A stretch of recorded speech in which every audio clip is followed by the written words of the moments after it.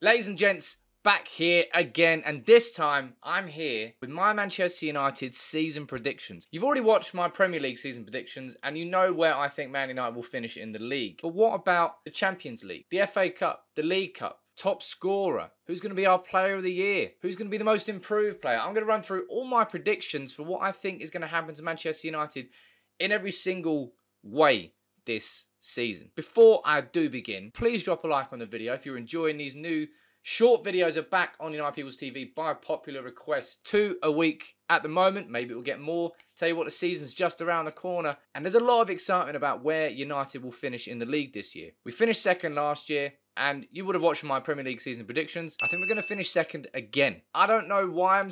I mean, I do know why I'm saying that. Man City are just a better team. Manchester City were a better team last year. They've signed Jack Grealish. Maybe they're going to sign Harry Kane as well. We have a lot of money, but we want Alexis Sanchez. Yeah, we could not afford it. We want Harry Maguire, and we couldn't afford it. We could not pay like United paid. And it's going to be tough for United in the league this year, man. You know, we're definitely improved. On the team we had last year, we've then gone out and signed Rafael Varane, gone out and we signed Jadon Sancho. Fingers crossed, we get defensive midfielder in there too. And if we win, if we do get that, we are absolutely our title contenders. But I think City will just have too much. I don't think it'll be a runaway like it was last year. I think it'll be a much closer fight. But I think when it comes push comes to shove, I think City will have just enough to win the league. It's my opinion, and that's where I think United will finish in the league this year. I think we'll finish in second place. What about the Champions League though?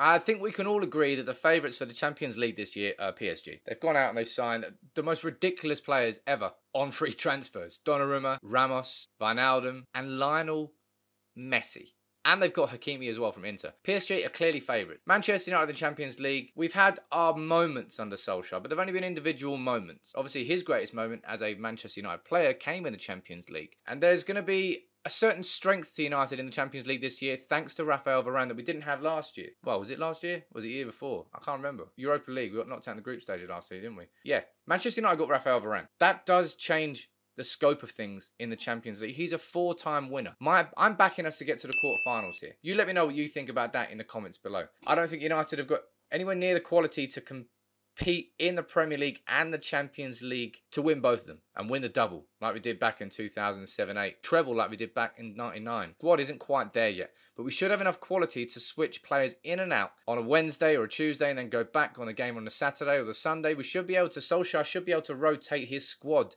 and keep his team fresh. We need that freshness in this team to compete in Europe and the Premier League. I'm backing us to get to the quarterfinals. That comes back around in about March time. I think by that point, we're really going to be focused on the Premier League. We should still be in with a push for it, but that's my prediction. I'm guessing second in the Premier League. And I'm guessing Champions League quarterfinals. Certainly a bit of progress on where it was last time in terms of where we went to the Champions League. Second, would that be a disappointment? You let me know. But moving on to the cup competitions domestically, I think this is where we're going to see a bit of a difference. And I think this is where we're going to see Ole Gunnar Solskjaer's first piece of silverware as United's manager. Obviously, we lost the Europa League final last year. I think we're going to win the League Cup. And the League Cup comes at a point where it's early in the season and it can have an effect. It can have a certainly a positive lift on Manchester United. And I think Ole Gunnar Solskjaer is really going to go for that. And I'm expecting to see some like Jose Mourinho style strong starting 11s in the League Cup. I think it will see it as a chance to really bury it. Done. Get the get that first trophy. It's so important. And I actually am backing United. Again, this might be wrong, but hey, this is what predictions are. Sometimes you're right, sometimes you're wrong. But I'm backing us to do a domestic double. I'm backing United to, well, not that domestic double, domestic cup double. League Cup and FA Cup. I'm backing United to win both. I think in the cup competitions, we've got enough strength in depth now this season that we can actually rotate properly and we can see the likes of Fred and McTominay playing in a cup competition rather than playing every week in the Premier League. Of course, that might depend on whether or not we actually sign a holding midfielder, which has been the biggest priority for me at Manchester United for a long time. It hasn't been addressed yet. Hopefully, by the time this video goes out, which is very unlikely, uh, we sign one. It is what it is. But I think United have, have, have got enough quality in this team. Obviously, certainly with Varane that's coming and Sancho, that's that we can now have a much stronger second 11. Because when you took our first players out of the first team last season, it almost looked like two different teams. One was Manchester United and one wasn't. But for me, I'm back in United to win the League Cup and I'm back in United to win the FA Cup. I think we'll fall short in the Champions League, but we'll stay competitive in the Premier League right until the end. I don't think City will run away with it. And that's what I think in terms of the competitions. But in terms of individual player award, this will be interesting. And this, I suppose, will be a place where there's lots of debate in the comments. But Who will be our top goal scorer next season? Got Edinson Cavani there. Rashford's going to miss three months, so unless he goes on an absolutely ridiculous run, you can basically rule Rashford out. Martial, he was crap the season before. Could Greenwood come in? They all could, but I think Bruno Fernandes is going to be our top scorer this season. I think Bruno Fernandes, I don't think, I know Bruno Fernandes is the best signing that we've made post Fergie. He's one of the best signings we've made in the modern history of our football club. Bruno Fernandes has, has, has dragged Manchester United off the floor, given us CPR, and brought us back to where we are now to the point where Jadon Sancho really wants to join and has joined. Rafael wants to join and has joined. I don't think either of those two transfers would be possible if it wasn't for Bruno Fernandes. Cracking uh, free kick in the preseason against Everton. I think he's going to be bang up for it this season. And he was fantastic last year. Did he get over 30 goals? 30 goals and assists in all competitions? His goal and assist output really truly is outrageous. It is outrageous. He is an outrageously good player. And I don't expect there to be a drop off from Bruno this year. If anything, I expect him to get even stronger. Because of the players he's got around him now, he's like, okay, well, right, we've actually got a chance here. And that will make Bruno play even better. And for me, I'm backing him as our top scorer. I think Mason Greenwood, we're going to see him get like 10 15 this season. He'll get double figures. Cavani should get double figures. And Martial should get double figures. I don't think we'll really struggle for goal scoring. And of course, we throw in Jadon Sancho as well. I haven't even spoken about him until now because I'm putting him down as going to be the top assist this season. I cannot wait to see Jadon Sancho in action for Manchester United, to actually see a true right winger play on the right wing for Manchester United. For I can't remember how long our attack has been imbalanced, unbalanced, imbalanced, out of sync. Heavily reliant on going down the left. It's why Rashford has burnt out so much. Maybe we're taken away from Martial's game. Maybe we're taken away from Dan James's game. But we burned Rashford out by playing down the left too often. And it made us very predictable to defend against. All we got to do is double up on Rashford, and United have no chance because we don't have an outlet on the right hand side. That all changes with Sancho. With the runs in behind that he makes, the fact that Pogba's now probably going to be staying at Manchester United because Messi's going PSG and hopefully signs a new contract. Bruno's there. Sancho is going to get so many opportunities with runs in behind. And as long as we've got Greenwood, Cavani's got, he's a fox in a box, man. He's the person that will be on the end of those balls coming in from Sancho. And for me, I'm putting Sancho down as top assists. I can't wait to see the sort of dimension that he brings to our attack that we just haven't had without him. Very predictable. When we're good, though, we're great. Turns out predictability, you do it very well. It's a bit like Arjen Robben. You knew he was going to cut in on his, on his left hand side, but if you did it properly, you couldn't stop him. I think United are going to be so much better shaped as a football team with Jadon Sancho in. So I'm backing Bruno as our top scorer next season, and I'm backing Jadon Sancho as our top assists. You let me know who you would choose in both of those positions. Now, moving on to a couple more, not just different predictions in terms of who I think is going to be the player of the year. Again, I personally do not think that I can look past, or you can look past Bruno Fernandes in terms of, of the centerpiece of everything that Manchester United will do next year. Will quite literally be Bruno Fernandes in the center, but he's just a focal point. He's the heartbeat. He's the oil. He's the he's everything to this team and this engine. Bruno makes it tick. Bruno is the cog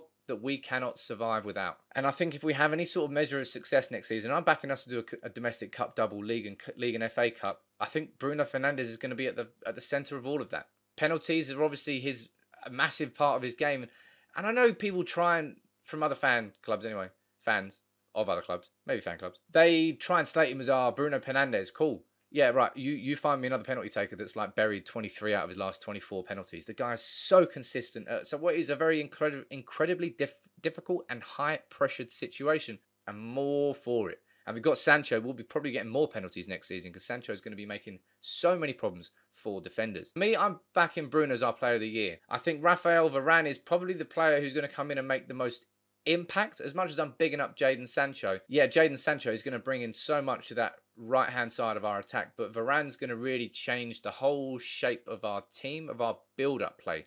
And our build up play was probably our biggest flaw last season in terms of what happens when the ball, when our defenders re- receive the ball from De Gea or Henderson. What do they do at that point? That point there between our defence and getting towards our attack was our poorest part of the game, aside from defending set pieces, which was actually 10 times worse than that. Rafael Varane should allow us to play with a high line up the pitch. There's no award for this. And I think he could go toe to toe with Bruno Fernandes for our player of the year. That's how much of an impact I think Rafael Varane will have. But typically, you don't really see it go to centre backs. I know it can go to defenders. De Gea obviously won it, what, three years in a row? Two, three years in a row? Luke Shaw's won it as well. I'm backing it to go to Bruno Fernandes next year. You let me know who you think will win that in the comments below. But this last one is one I'm really interested to for you to let me know what you think. Who do you think will be our most improved player this year? Because last year it, it was Luke Shaw. I don't think anybody can argue with that. His upward trajectory after Alex Telles' arrival was was phenomenal. Absolutely phenomenal. Luke Shaw was incredible for Manchester United last year, and I'm really excited to see what he can do again this year. But I think having Jadon Sancho on the right hand side is going to make such a a seismic shift to Aaron Wan-Bissaka's game that I don't think anybody can really is really going to come close to him in terms of his improvement overall. The thing that Wan-Bissaka has been missing is is a partner on the right wing, somebody up in front of him that he knows is going to play like the same way every single week. Sometimes it's Dan James there, sometimes it's inexplicably being Marcus Rashford there, or Mason Greenwood there, and all of them play differently, and therefore Wan-Bissaka never really knows when to go on the front foot, when to when to fall back, when to pass for a quick one-two, because the player changes every week, and it makes it very difficult for him to build a, an attacking pattern. And it's it's a criticism of his game. Wan-Bissaka's attacking intent isn't as good as his defensive qualities, and he is easily the best one-on-one defender at right back that Manchester United have got, and arguably in the Premier League as well. Actually, not arguably, he is the best one-on-one defender. But going forward, he's certainly getting more assists, but we just need more of an attacking overall threat from him. And that's why I think that he's going to be our most improved player this year because of Jadon Sancho's presence on the right wing every single week. I think just just watch out for Wan-Bissaka for me. I think he's going to be our most improved. Could, I, I also think that Fred's going to play a lot better if you don't play in the midfield pivot too often. He's more of a box to box player. So is McTominay. Both of them are better in a more central midfield role rather than a defensive midfield holding pivot role. So I think you could see improvements from Fred. And there's plenty of others you can make. Henderson, I expect we'll see improvements from this season, whether or not he plays in goal. You let me know what you think about your actual predictions for Manchester United season. So I've gone second in the Premier League. I stand by that. I don't think City will really let go.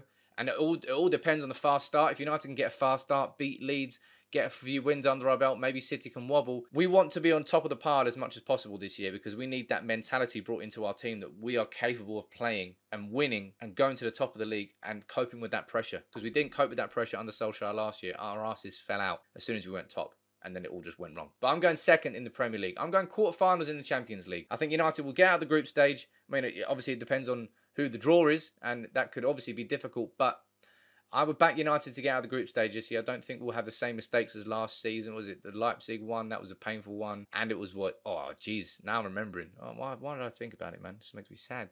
Was it Istanbul? Başakşehir with that goal, that lobbed ball over Matic. Ugh.